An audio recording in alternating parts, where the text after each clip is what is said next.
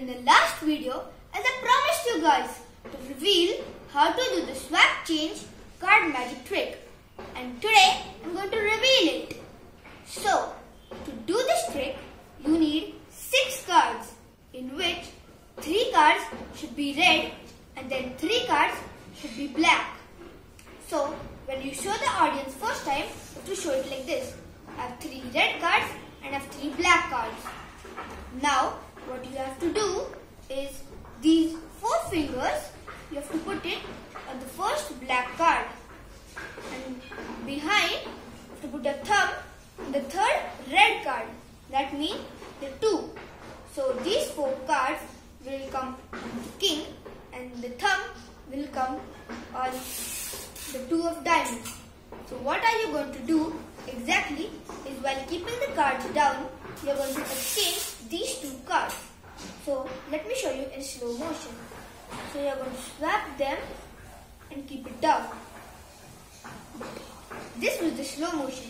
You have to actually do it like this.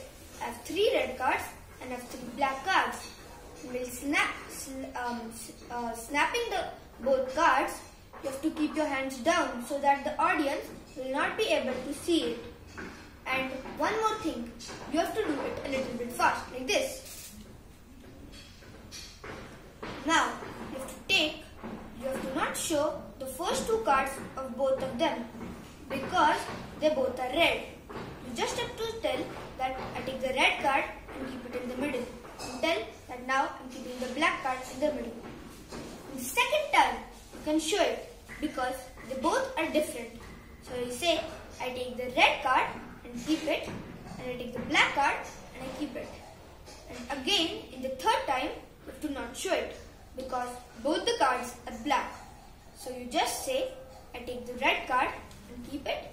I take the black card and keep it. And just say, the combination of the cards has now become red, black, red, black, red, black. Now, just take a wand and say abracadabra, gilgili, two. And automatically, three cards of black and the three cards of red will be separated. So this was how to do the snap changing card magic trick. If you like this video, please subscribe my channel and give a like to this video. Also, click on the bell icon so that you will receive all the notifications when I upload a new video. Also, do share this video. Thank you for watching. Enjoy card magic tricks with me.